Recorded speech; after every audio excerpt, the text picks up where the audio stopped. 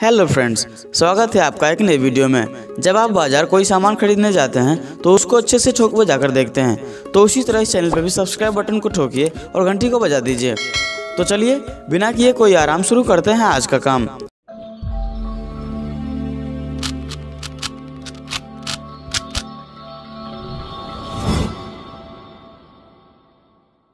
दोस्तों, जैसा कि आपको पता ही है कि पिछले साल 2020 कितना मनुष्य साल रहा है। इस 2020 ने पता नहीं कितनों के विकेट गिरा दिए हैं, कितनों को बाउंड्री लाइन के बाहर कर दिया है, क्योंकि ये पूरा साल कोरोना का काल रहा, यानी कोरोना का दबदबा रहा। लेकिन हमारे देश के जितने भी डॉक्टर्स और कोरोना फाइटर्स थे, उन्होंने डट के इसका मुकाबला किया और कभी भी हार नहीं मानी। हम लोगों ने कसम खाई थी कि साला जब तक तोड़ेंगे नहीं, तब तक छोड़ेंगे नहीं। हमारे डॉक्टर्स और साइंटिस्ट दिन रात लगे रहे। इस पर रिसर्च जारी रही और हर बार नाकाम रहे। लेकिन इस बार उम्मीद की किरण दिख रही है। अभी अभी खबर आई है कि डीसीजीआई ने आपातकालीन उपयोग के लिए कोविड 19 टीकों को हरी झंडी दे दी है। सोशल मीडिया पर भी कई विशेषज्ञों ने इस तथ्य पर ध्यान दिया कि कोवैक्सीन की प्रभावकारिता पर भारत बायोटेक द्वारा सार्वजनिक डोमेन में कोई आधिकारिक डेटा जारी नहीं किया गया है। वरिष्ठ पत्रकार सुशांत सिंह ने एक ट्वीट में बताया कि कैसे भारत बायोटेक के कोवैक्सीन के स्टेज टू की परीक्षण की अभी तक समीक्षा नहीं की गई थी। शनिवार को भारत बायोटेक के अपने सार्वजनिक बयान के अनुसार और स्टेज थ्री परीक्षण मीडिया रिपोर्टर्स के अनुसार अभी भी अधिक स्वयं सेविका की तलाश कर रहे हैं। कोई भी डेटा जो भी हो, सार्वजनिक डोमेन में डाल दिया गया है।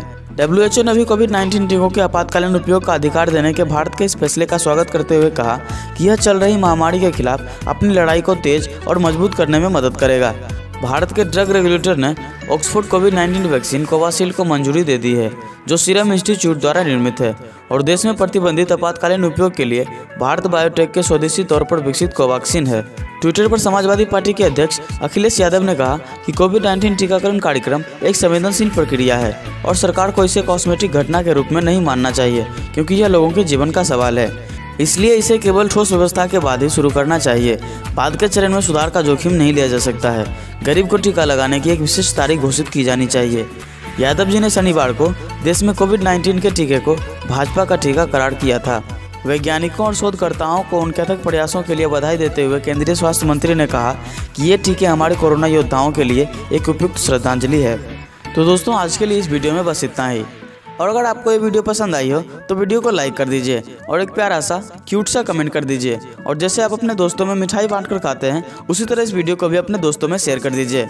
और अगर आपने अभी तक इस चैनल को ठोका और बजाया नहीं है तो जल्दी से ठोक के बजा लीजिए, ताकि इसी तरह की लेटेस्ट वीडियो आपसे नज़रें ना चुरा ले। अब लेते हैं एक छोटा सा आराम और लगाते हैं वीडियो पे पूर्ण विराम। मिलते हैं किसी और वीडियो में, तब तक के लिए घूमते रहिए द यूनिवर्सल फैक्ट्स में।